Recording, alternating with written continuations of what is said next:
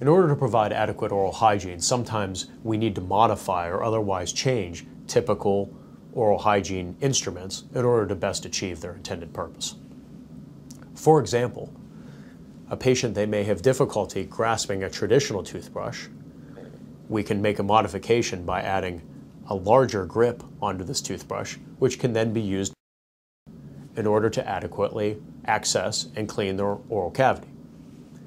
Sometimes other types of props are used.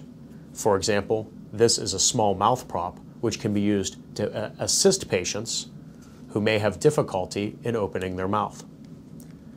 This can be used either sideways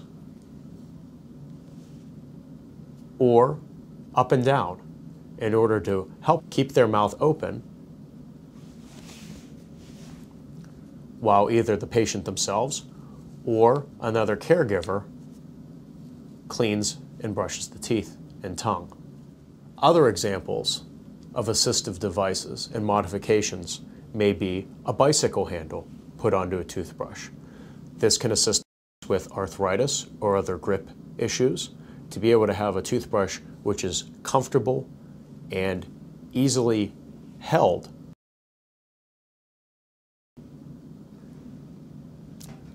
Finally, dental professionals may prescribe a mouth prop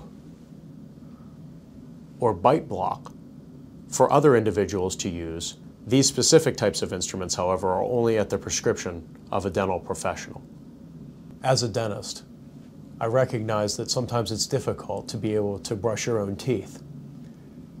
What we recommend is to go ahead and work with somebody to get an adaptive device, if necessary, to be able to hold the toothbrush, and also take it bit by bit. Go ahead and start to brush the areas of the mouth that you're comfortable. If you work too far towards the back of your mouth and stop to, start to gag, stop. Sometimes breathing in and out through your nose a few times will help assist in calming your gag reflex. Don't put too much toothpaste on the toothbrush.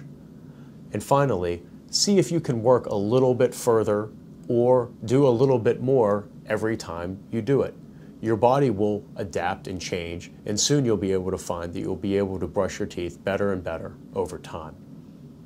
Unable to use a toothbrush. Your dental professional may recommend using a wet washcloth, gauze, or toothettes, which are a foam device that comes on a little stick. These are used as an adjunct to help oral health care needs for patients who otherwise aren't able to tolerate a toothbrush.